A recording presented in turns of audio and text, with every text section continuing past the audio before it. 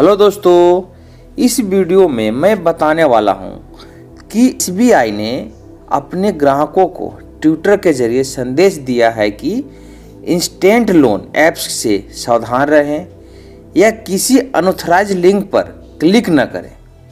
RBI का कहना है कि मार्केट में 1000 ऐसी गैर कानूनी लेडिंग मोबाइल ऐप्स की पहचान किया गया है जो बेबस ग्राहकों को लुभाने में लगे हैं, जिन्हें तुरंत पैसे की ज़रूरत है।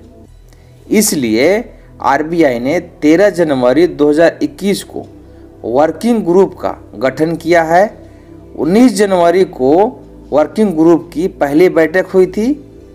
इस वर्किंग ग्रुप के अध्यक्ष आरबीआई के एग्जीक्यूटिव डायरेक्टर जयंत कुमार दास हैं।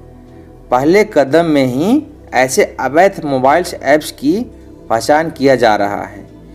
इससे बचने के लिए आरबीआई ने तीन सेफ्टी टिप्स बताया है, जो इस प्रकार है।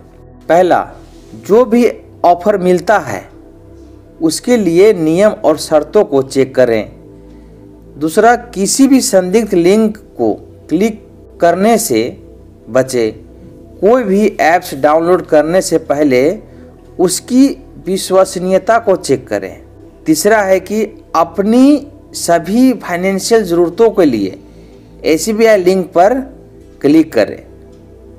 एस ने कहा है कि किसी भी तरह से अनाधिकृत डिजिटल प्लेटफॉर्म पर धोखाधड़ी का शिकार होने से बचें। दोस्तों, मेरा दिया हुआ इन्फॉर्मेशन सही लगा तो प्लीज़ लाइक करें शेयर करें।